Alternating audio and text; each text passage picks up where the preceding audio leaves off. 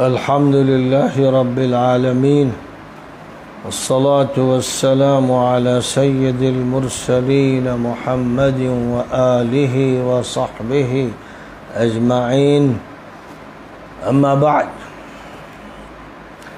عن أنس رضي الله عنه أن النبي صلى الله عليه وسلم وأبا بكر وعمر رضي الله عنهما كانوا يفتتحون الصلاة بالحمد لله رب العالمين. هذا الحديث يدل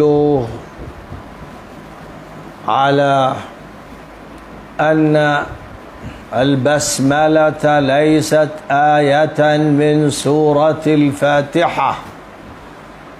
وأن النبي صلى الله عليه وسلم كان يفتتح الصلاة بقراءة الفاتحة بآية الحمد لله رب العالمين. فقد دل هذا الحديث على هذا المعنى دلالة واضحة صريحة لا تقبل تأويلات.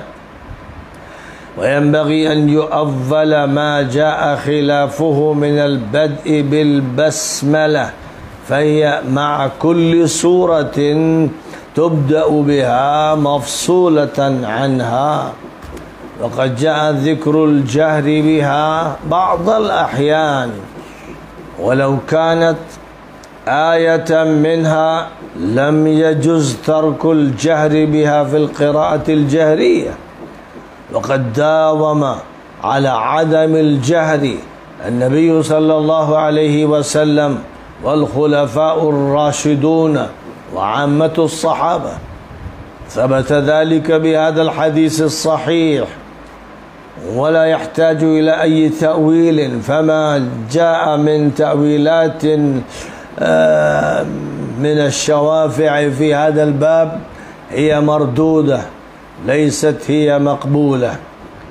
ويكفي من هذا الحديث ذكر النبي صلى الله عليه وسلم وأبي بكر وعمر أنهم كانوا يفتتحون القراءة بالحمد لله رب العالمين لأن سورة الفاتحة تبدأ بهذه الآية الكريمة.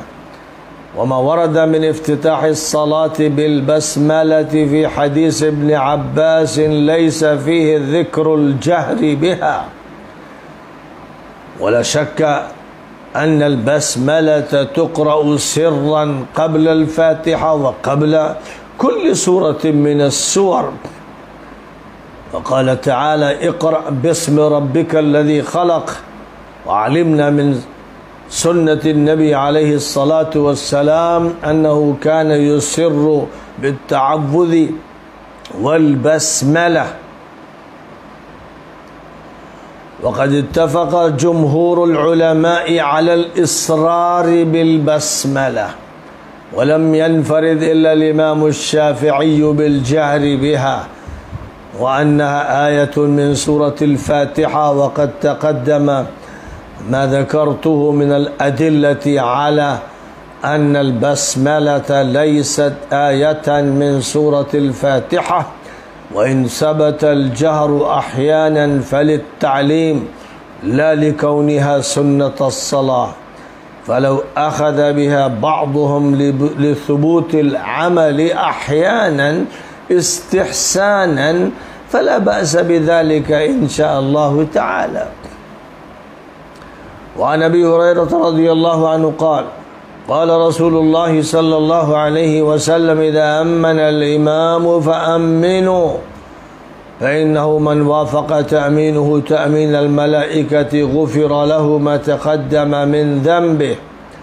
وفي رواية قال إذا قال الإمام غير المغضوب عليهم ولا الضالين فقولوا آمين فإنه من وافق قوله فإنه من وافق قوله قول الملائكة غفر له ما تقدم من ذنبه غفر له ما تقدم من ذنبه. هذا لفظ البخاري ولمسلم نحوه. وفي أخرى للبخاري قال إذا أمن القارئ فأمنوا فإن الملائكة تؤمن فمن وافق تأمينه تأمين الملائكة غفر له ما تقدم من ذنبه. وعن أبي موسى الأشعري قال قال رسول الله صلى الله عليه وسلم إذا صليتم فأقيموا صفوفكم ثم ليؤمكم أحدكم فإذا كبر فكبروا. وإذا قال غير المغضوب عليهم ولا الضالين فقولوا آمين يجيبكم الله. فإذا كبر وركع فكبروا واركعوا. فإن الإمام يركع قبلكم ويرفع قبلكم. فقال رسول الله صلى الله عليه وسلم فتلك بتلك. قال وإذا قال سمع الله لمن حمد فقولوا اللهم ربنا لك الحمد. يسمع الله لكم. وفي رواية عن أبي هريرة وقتادة قال وإذا قرأ فأنصتوا. وحديث أبي هريرة يفيد حكم التأمين وهو أنه كما يقتدي المصلي بالإمام في جميع الأفعال يقتدي به في التأمين. إذا أمن الإمام يؤمن المأمومون والملائكة حينئذ يؤمنون وموافقة تأمين المصلين تأمين الملائكة سبب المغفرة. وفي رواية البخاري إذا أمن القارئ وهو الإمام فأمنوا. وفي رواية إذا قال الإمام غير المغضوب عليهم ولا الضالين يؤمن المأمومون ويمكن أن يحمل ذلك على عدم سماع تأمينه يعني تأمين الإمام لأنه يخفض الصوت بها ولم يتضمن هذا الحديث الجهر والإصرار. ولكن اختلاف الروايات يفيد الاحتمالين ويوافق الرواية الثانية عن أبي هريرة رواية أبي موسى الأشعري فليس فيها إذا أمن الإمام فأمنوا بل جاء فيها إذا قال ولا الضالين فقولوا آمين. يعني معنى ذلك أن الإمام يقول آمين سرا.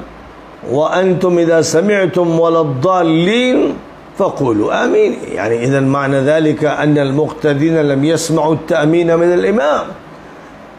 فعندما قال إذا أمن الإمام معنى ذلك أنه إذا قرأ ولا الضالين فإنه يؤمن. فكذلك ينبغي للمقتدين أن يؤمنوا. وقد اشتمل حديث أبي موسى الأشعري على حكم إقامة الصفوف وإمامة أي واحد والأفضل أن يؤم الأقرأ.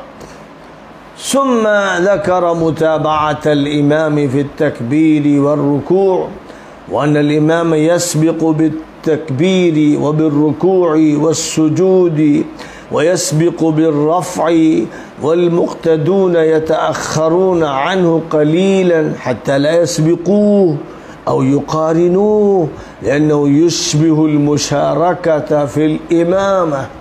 فتأخرهم في الركوع وتأخرهم في الرفع يوازن الأمر مع الإمامة فتلك بالتلك لم ينقص من صلاته ولا صلاتهم شيء.